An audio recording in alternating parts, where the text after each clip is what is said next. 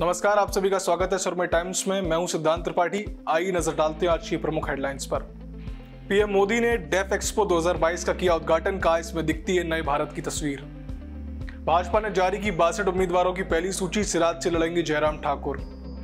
बंगाल की खाड़ी में चक्रवात की आशंका। राज्यों में होगी भारी बारिश। मौसम विभाग का हुआ अलर्ट जारी। कांग्रेस अध्यक्ष चुनाव के नतीजे आज होंगे घोषित। मतगणना हुई शुरू। संयुक्त राष्ट्र महासचिव एंटोनियो गुटोरेस ने मुंबई आतंकी हमले में मारे गए लोगों को दी श्रद्धांजलि। कहा, आतंकवाद का दुनिया में कोई स्थान नहीं। ओपेक प्लस देशों के तेल उत्पादन में कटौती पर भड़का अमेरिका, लगाया रूस को लाभ पहुँचाने का आरोप। आज से तीन राज्यों के मैराथन दौरे पर प्रधानमंत्री मोदी दर्जनों कार्यक्रमों में होंगे शामिल। अमेरिका में न्यू जर्सी जा रहे विमान में मिला सांप, दहशत में आई यात्रीगण। क्रिस्टसन बने स्वीडन के नए पीएम, प्रधानमंत्री नरेंद्र मोदी ने दी बधाई, द्विपक्षीय संबंध मज़बूत बनाने पर ज़ोर। जम्मू कश्मीर के शोपिया में मजदूरों की हत्या के 48 घंटे में सुरक्षा बलों ने लिया बदला, आतंकी इमरान बशीर हुआ ढेर। देश प्रदेश की बड़ी और अहम खबरों के साथ जुड़े रहने के लिए हमारे चैनल को लाइक, शेयर, सब्सक्राइब करें और बेल आइकन को प्रेस करना ना भूलें।